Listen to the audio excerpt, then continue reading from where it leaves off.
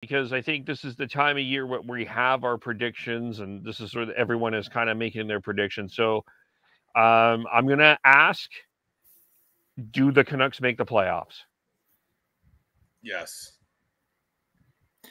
And where do I'm they finish? to- oh, sorry. Go ahead. No, I- I'll just add that. Where do they finish? I have them third. Uh, no, sorry, fourth in the uh, in the Pacific. Um,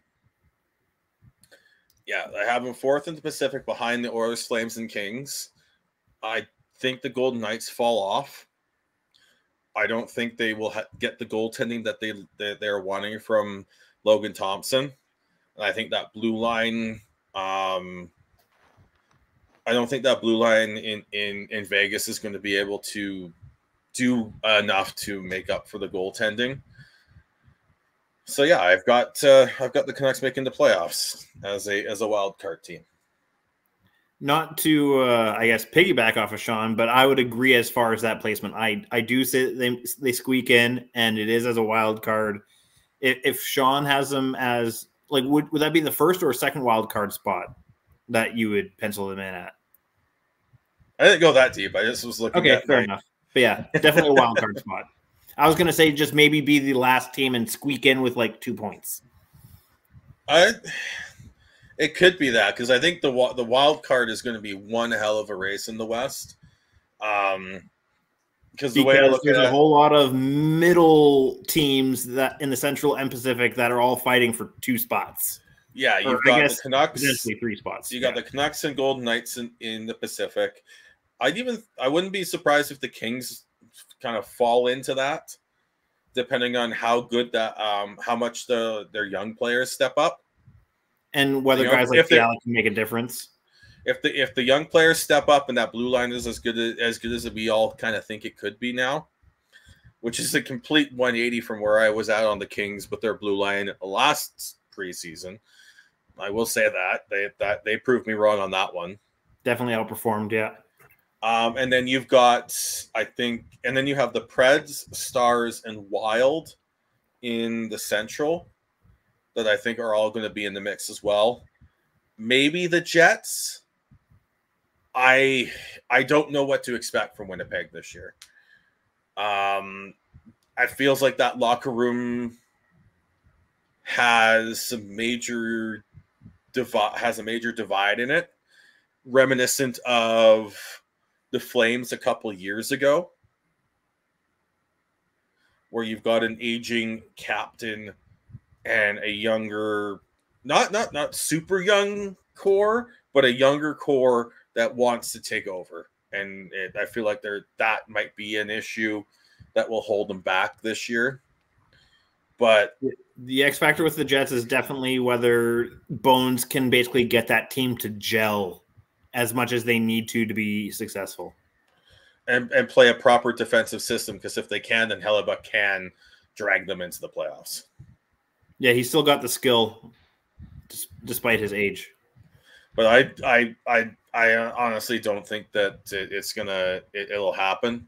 I think this might be a two to three year project for Bones.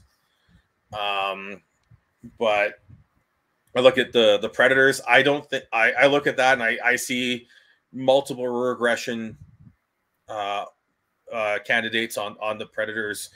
Uh, Duchene, Johansen, Tanner Jeannot, Jeannot, um, all I think are going to regress. Oh, I'm going to have Yeah. to disagree. I'm I will be disagreeing with you, but on that. But just uh, go ahead. With, with, with, with Jeannot, right? No, with Because Nashville. he drafted him. No, with Nashville, I I I do not see a regression on that team at all. Oh, I, I, I, I look at the look. I am I somehow I'm the statistical dude on this on this podcast, and I look Even at though you don't really identify as that guy, you just happen to be the guy that leans most into it out of us. I look at that, and they're they're Duchene, both Duchene and Johansen are both um, candidates for regression on that team. Yes, they've added Nino Niederreiter, um, but I just I I just don't. I'm not sold on them. Um, but the Stars are a bit of a. I don't know what to expect from the Stars. Um, do we see a very slow start from Jason Robertson? I think that's expected. missing all of camp. Uh, what is Oettinger? What we saw in the Flames in the Flames series, or is he more an average goaltender? I think he can be what he was in the Flames series, but I think he it's not going to be a as as quick a jump up to there as as many people are, are expecting. Um, and then the Wild, they lost Fiala. Who's stepping up?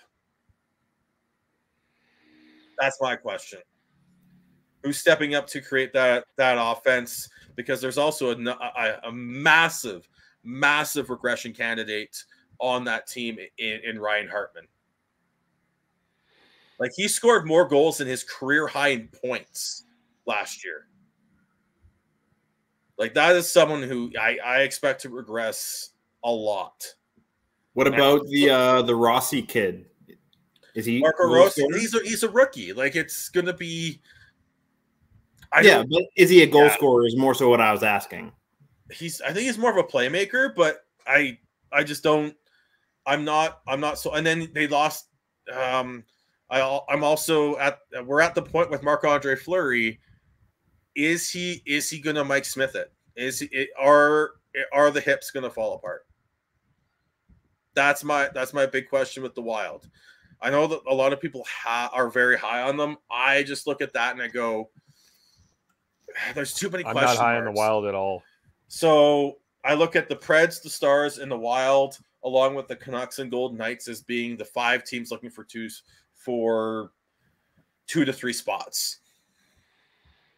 Yeah, it's going to be a, a, battle between the the Central and the Pacific as far as who gets that extra third team.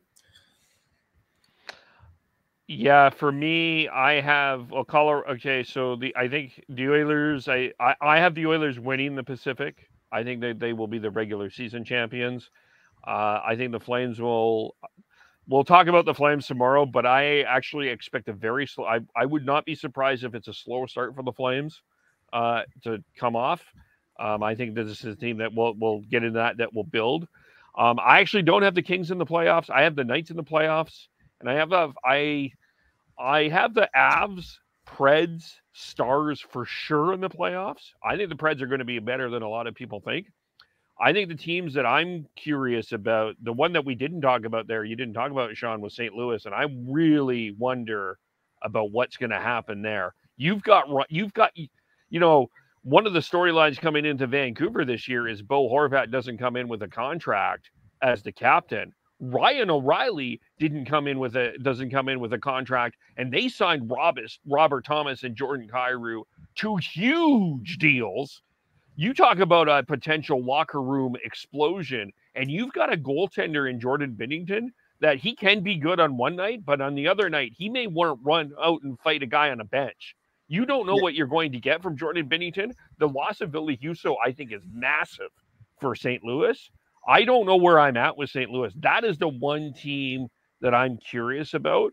But I do have the Golden Knights in the playoffs. I think the Golden Knights will sneak in, but I don't have the Kings in, and I I unfortunately, right now with that blue line and the Canucks, I can't put them in right now.